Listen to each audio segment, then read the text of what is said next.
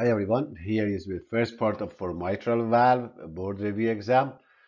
First question is which of the following is correct uh, orientation and correlation of papillary muscle as uh, you can see related to the anterior mitral valve and posterior mitral valve leaflet. Is that from the, as imagine here is atrial or cephalic view, here is ventricular uh, view. So where's the location and insertion of the mitral valve uh, commissure and chordae tendineae and papillary muscle related those two uh, valves, mitral uh, valve leaflets. Here we have mitral valve mode uh, and PLAX or PSAX at mitral valve level.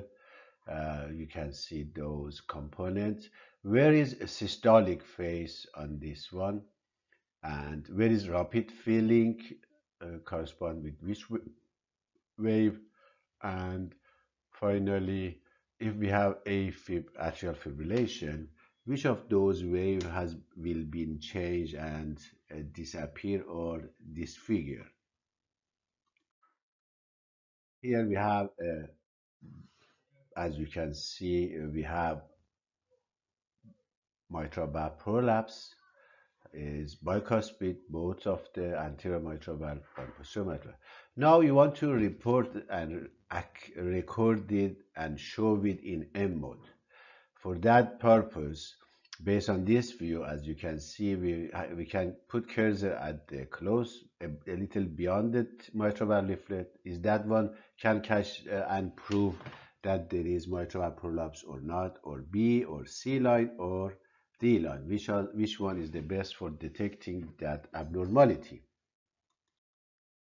Here we have uh, another question about the consequence of significant left atrial enlargement. When we have left atrial enlargement, what will happen? Which of those uh, components can change or is correct or not?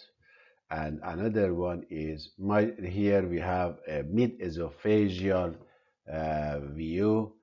And I don't I am not going to tell more detail just this view uh, long axis uh, mid esophageal what is this uh, hyperecho flap or leaflet here you can see?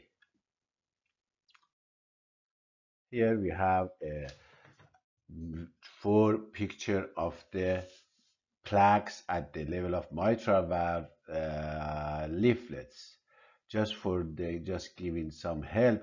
Here is hinge hinge of the mitral valve leaflet here hinge here is hinge and here is hinge and posterior hinge here posterior hinge anterior hinge.